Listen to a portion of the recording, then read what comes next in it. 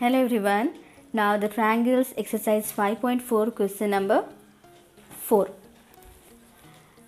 AB and CD are respectively the smallest and the longest side.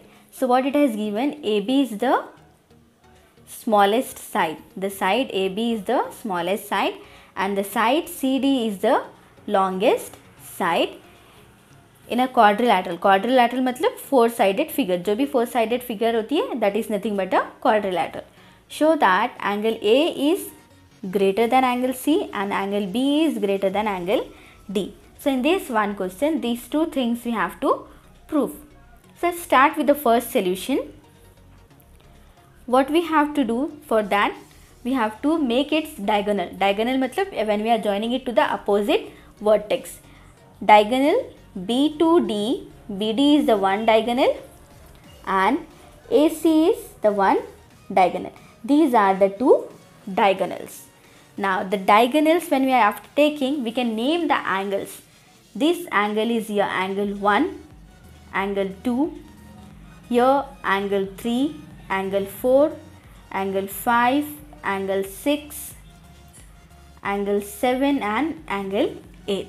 Tell you once again, in a cyclic way I had taken, A से हमने शुरू किया है angle one and two three and four five and six seven and eight so let start अभी आपको proof क्या करना है? एंगल ए एंड सी तो पहले आप देखेंगे एंगल ए और सी कौन से दो ट्राइंगल्स में आपको नेम बन रहा है? तो वहाँ पे देखो आप ए डी सी एक ट्राइंगल ले सकते हो आप।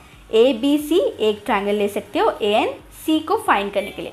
सो we will take first in triangle, upside triangle I am taking ADC in triangle ADC तो आपको डायगोनल नहीं देखना है डायगोनल के अलावा जो दो साइड्स बच जा रहे हैं, वो वाले साइड्स देखने हैं।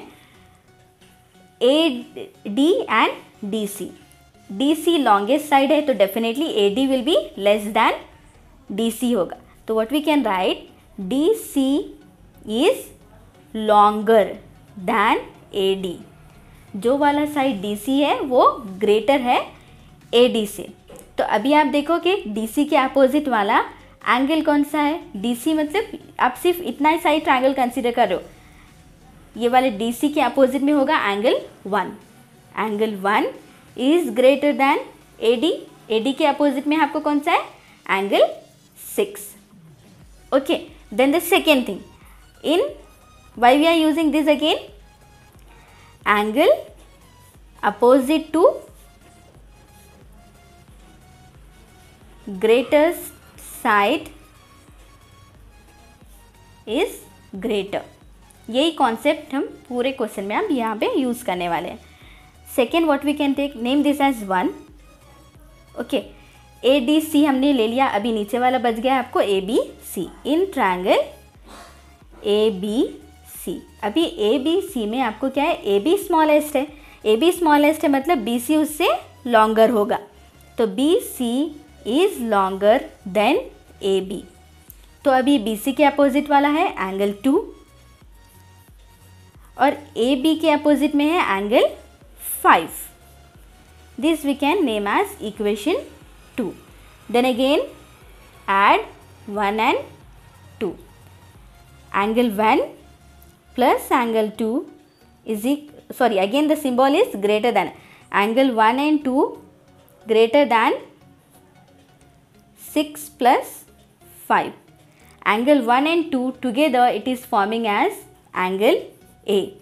Angle A is greater than 6 plus 5 is angle C which is your first result.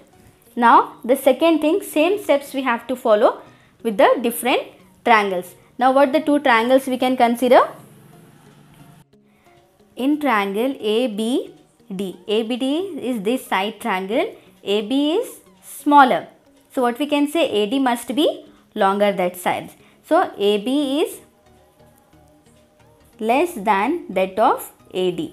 So we can say AD is greater than AB. So AD's opposite angle is ये वाले AD के opposite में क्या है angle 3 और A B के side में opposite वाला एंगल है? Angle eight the reason is same angles opposite to the greatest side are greater the same reason we are using जो हमने फ़र्स्ट में लिखा था, वही सेम रीज़न सेकेंड और थर्ड में भी आप यूज़ कर रहे हो। Now the next triangle this down side triangle in triangle अभी हमने लिया था ए बी डी तो it will be B D and C अभी अपनी नीचे का कंसिडर कर रहे हो बी डी एंड सी मतलब D C is the longest so B C D C is longer B C is smaller तो we can write D C is greater than B C तो अभी D C के opposite में है angle four और B C के opposite में है angle seven what we can write here now? Again, adding the both equations. Angle 3 plus 4 angle 3 plus angle 4 is greater than angle 8 plus angle 7 what we have done here? Adding equation 3 and 4 the both equations we are adding. So now 3 plus 4, 3 plus 4 together it is angle B. And 8 plus 7 is angle D. So we can say angle B is greater than angle D which is your second result. Hope you have understood this question. If you are having any doubt you can ask in the comment section. Thank you.